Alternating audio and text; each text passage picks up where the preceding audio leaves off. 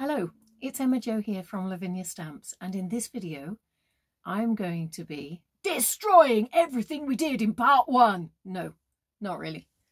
But you're going to think, what has Emma Jo got us doing? So let me show you. Do you remember last week we did, or in the last video rather, we did King Hopkins and the coronation scene, which seemed quite appropriate because we have King Charles III. And this is around the time of his coronation. So let me show you what we do. Don't panic. So there we go. Here we go. Do you remember that A4 piece that we did? So we rip it. Yes, we rip it up. Calm down we rip it up and we get one page there and we get the other little bits go over here. So actually there's only one bit that we don't use and that's the fish. But you know, I've shown you how to do it on A4 so you could do that anyway if you wanted to. And also we've got some fab bunting. So this basically has our mice stumbling across a coronation party enjoying the vibe and thinking, let's dance. Which, you know, I think is quite cool. Anyway, come with me, let me show you how it's done. So, my friends, let's get ripping. Hurrah! So take your A4 piece that you did last week and that you were really proud of and that you don't really want to rip, and we're going to rip along there. So just to make sure that I've got an inkling of where I'm going, I'm using a ruler to give me a bit of a line. I've gone just a bit up so that I know I'll get a bit of a frame and I'm using that as a guide to rip around. There we go. And we want that little white edge, so try and make sure that when you're ripping, you're ripping to give a white edge at the bottom. Now, rip around Bella and around the characters of the mice. That's the first rip. And then I'm going to separate them. Not because they're in detention, but just because I want them as two separate pieces. There we go. Go as close as you dare.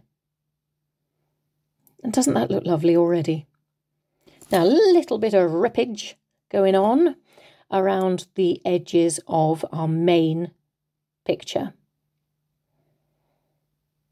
I bet you didn't think we would be doing this last time. Ripping the lovely piece. I was really pleased with that. But I know this is going to look fab. Just have faith. Promise you, it'll be great.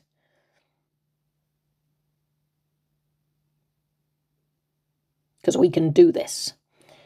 Okay, what are we doing now? Creating the background. Hurrah! Remove everything. Get your stencil brush size 9 and Elements Ink Blue Atoll and just work it in from the edges and corners inwards. Paying special attention to the centre of the double page spread.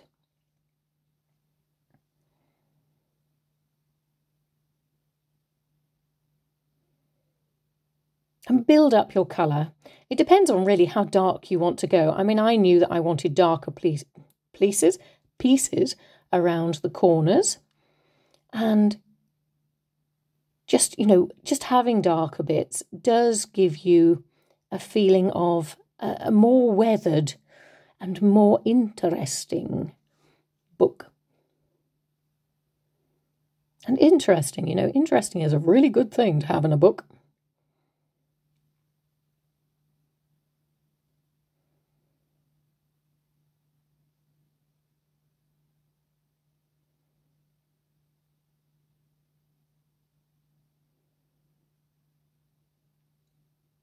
Okay, now what are we doing?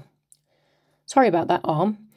This is Blue Lagoon. And we're touching up those corners.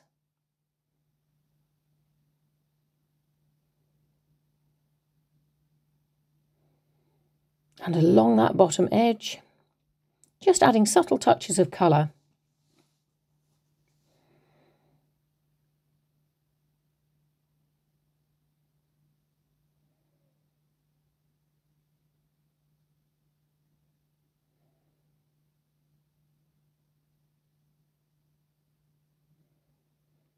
Okay.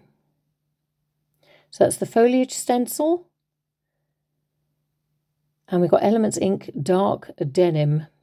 And this time I'm using a stencil brush size 7, just to get in between all those little bits of the stencil. And I'm just using it to create a frame. Now don't forget your picture's going to go on top of this, so you won't see all of it. So don't panic about getting anything too long or anything like that. Doesn't matter. It'll all be grand.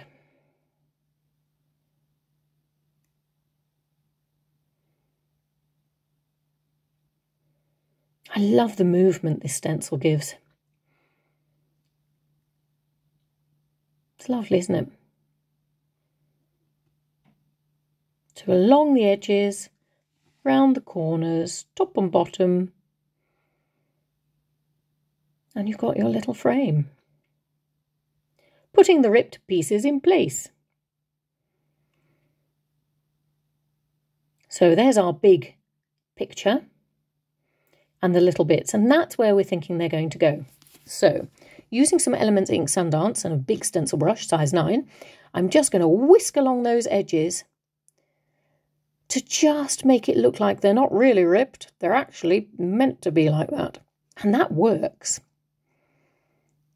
Okay, now let's do the same sort of thing, but for the larger picture. Now, we're not just going to use one colour like we did. We use Sundance just for the smaller bits. But for the bigger bit, we'll use Sundance here, there and everywhere.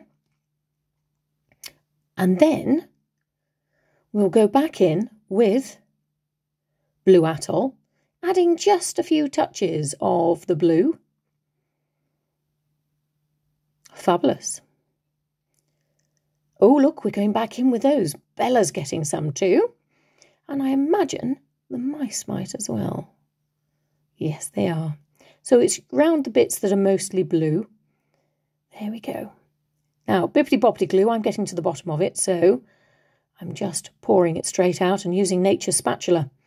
My finger. There we go. Rub that in. Ready to stick it down.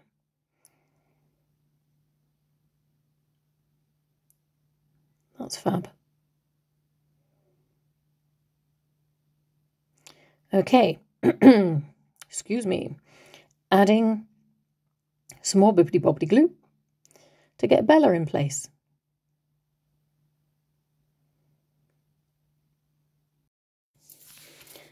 There we go. Doesn't she look fab? A little bit of pressure. Oh, there's some glue on my fingers with a little bit sticking up. Make sure you get all those little bits stuck down and job's a good one. Doing the same now for the mice.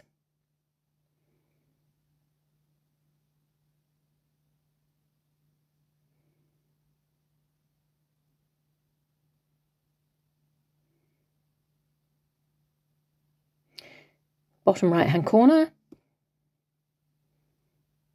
Fab. And shut that book and let the weight of the book help the pieces stick.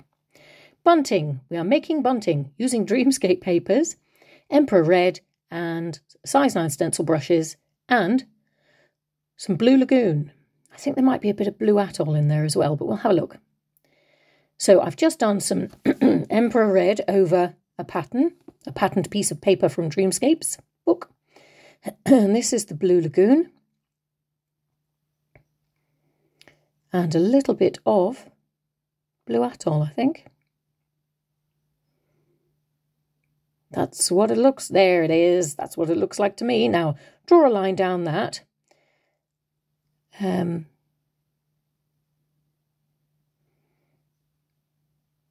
there was no precise measurement. I just more or less did half and half. Um, and I think I've gone with three, one, two, three, three by four that I've cut in two, so it becomes three by two I'm using the measurements of the centimetre squares on the craft mat before you wonder what I'm doing. Okay, embossing. So I'm just using the Magic Anti-Static pad, even, Wibble, um, just to get rid of any bits that I don't want it to stick to. We're using Versamark mini crown stamp and some Wow embossing powder, opaque white. Little bit on there, stamped it down, a little bit on there, and tapped off the rest. Give it a quick dry with the Ranger heat tool, and we have a crown. Don't forget to tip the excess back into your pot, ready to use again, and keep doing that ad nauseum until you have got the amount of bunting you want. Then all I have done is I've taken, worked out where the halfway point is on my love the way I looked at us then on my um the middle of my craft mat.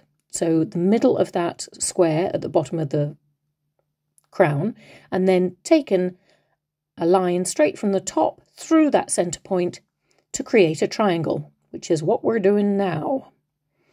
And I'm just going to go just above that crown. And I've got my lines then to cut the flag out. Now I'm using Sizzix scissors because they're actually really good on paper. At cutting through paper, rather. So doing the same thing again, found my centre point below the crown, gone straight up to the point I want them to go through, and just above the crown, created a flag. Now, this I have used a little bit of Elements Ink Mulberry with a size 3 stencil brush just to go around some of the outsides. I tend to do a little bit of top left and all down the right hand side. I've got a little scrag end of very thin ribbon and I'm just working out where I want these the multicoloured bunting to go because obviously I did red and blue so that I could have a red and blue bunting without being overly obvious. I was going for the red, white and blue theme. The white being the crown and then just glue them down on top of your ribbon with some Bippity Boppity glue. Now, all I've done with that ribbon is rather than glue it all the way along, I've just glued it at the ends because I thought with the flags on top, they will glue the ribbon in place along the line. It was my plan all along. Honest Gov. So I've just alternated red and blue. And there we go with that size 3 stencil brush. And this time, Elements Ink Dark Denim, going around underneath almost the picture that we have ripped up on the left hand side of King Hopkins on his coronation day.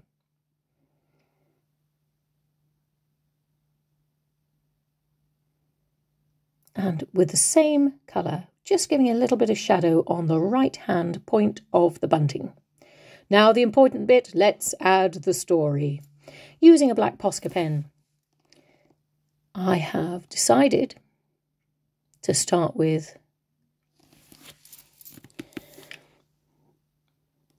some words. Let's see what the story is this time.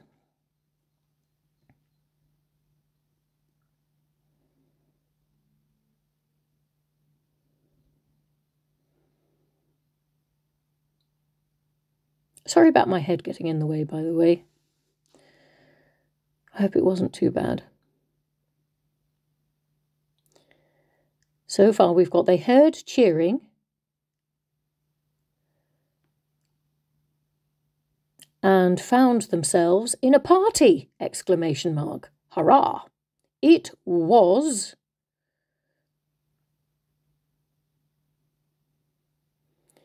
King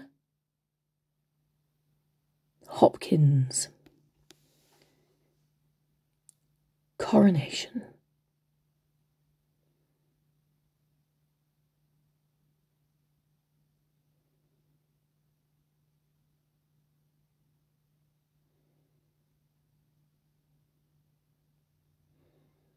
It was a very special day. Now, I don't know if you can notice, but on the right, you can see that somewhere along the line must have been done in secret. I have managed to sneak a sent something from the sentiment stickers 5 range and it says it's a blast so there's a sticker there so feel free to add those too so i've got it was a very special day so they danced and then grab your posca pen tap it with your size 9 stencil brush and get some splattering on there and that my friends you have done it well done well done indeed So do you forgive me? Do you forgive me that I made you tear up? Well, I didn't make you do anything, but you know, that we have torn up the A4 piece that we did in the last video. I, I'm going to say sorry, but you know, after the way this turned out, I'm not sorry. I love this scene. After the chaos that we had last week in the factory, do you remember? Absolute chaos inside to come to something traditionally regal and in its place, I think is, yeah, it was good. Good to come back to uh, some sort of organisation. anyway, my friends, enough from me. I do hope you've enjoyed this. Um, if you've got any comments you'd like to make about the craft, please pop it in the post below and I will do my very best to get back in touch with you as soon as I possibly can. But in the meantime, you take care and I will see you soon. Bye.